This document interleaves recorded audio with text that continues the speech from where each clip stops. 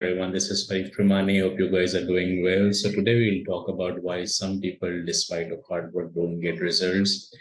And there was a complete research and books published on this article. Some says it's a luck. Some says it's the charisma that many people can turn copper into gold. While some people say that you know it's about uh, scientific issues that different people face while they work. So six are following common issues which have come out from surveys why people despite of hard working fail. So the first one is lack of clear goals. So lack of clear goal is something that it's always a say that whenever you walk or whenever you drive you can always see 10 kilometer or 20 kilometer ahead right? The problem is when you see 20 miles ahead you don't know that you know a journey of thousand mile could be reached, but you have to keep on faith that 20 miles will lead you to different work progress, right? And then 980 miles would be done. So fortunately, step by step, but you keep on moving the same direction. The problem that happens with people is when they don't get clarity, they change directions very frequently. And sometimes it's opportunistic because there are a lot of opportunities coming every time. But the problem that happens is after every 20 miles, if you keep on changing the car, you will never be able to complete that thousand mile road way, right?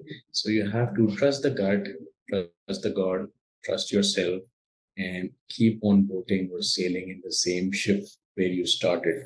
So clarity is always available to an extent. No successful person could say that he was clear, dot to the point. There is always a level of faith that he brings, and that whatever I'm thinking will bring conviction. So that's number one point. Point number two is lack of skills and knowledge. Many people are there who work very hard, but they don't have any faith on themselves or God or external forces. That's why they cannot do miracles. While some people are vice versa, they only trust God, but they don't have any skill, right? They keep on praying, they keep on trying to do charity, good work, but at the end of the day, they feel that why the results are not coming. The result is uh, they don't have adequate skills for that. They don't have continuing education for that. They have never certified themselves. This is why a successful company like Nokia could not be beat Apple. There are no more. There are tons and tons of examples. So on a humanistic level, uh, lack of skills but a lot of expectation could also result in failure. That's why many hardworking people, because they're working on a different direction, right? They are not working on key performance indicators.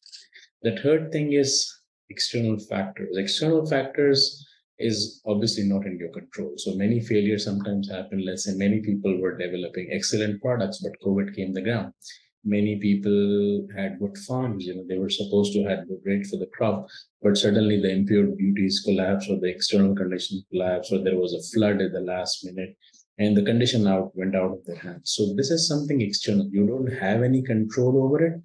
But then serial entrepreneurs successful entrepreneurs always have shown that persistence to always start giving themselves pat on the back and unrevealing the kind of hardships that they have gone through because eventually in longer run what they feel is small obstacles that came in their way were actually the stepping stones rather than stumbling blocks.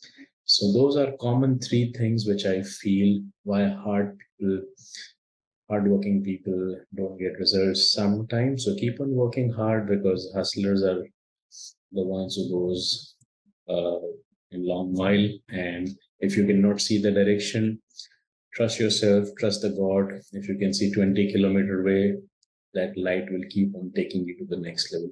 This is Farid Premani signing off.